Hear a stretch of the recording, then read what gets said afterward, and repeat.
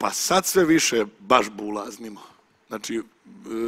ne mislim da smo kao istrošili sve što se zapravo dešava, na, na šta mi možemo da pravimo neku vrstu parodije, ali ovaj, sad je nama više gaz da bukvalno izmišljamo ono, totalnu debilanu da pravimo, što ne znam kako će se odraziti na gledanost i komentare, ali nas nešto previše sad ni ne zanima jer nismo na televiziji trenutno, tako da ono, nemam pojma, inspiracije svaki dan imaš bukvalno svaki dan i da pišeš po dve, tri serije uporedo možeš da, da ovaj, prosto što više ljudi upoznaješ, ti ljudi rade na različitim radnim mestima, svi su u nekom svom mikrokosmosu koji ima milijardu debila oko sebe i nenormalne stvari se dešavaju, tako da neće to nikad da presuši u tom smislu, samo što je nama sad kao veći gaz da, da, da nešto baš izmišljamo.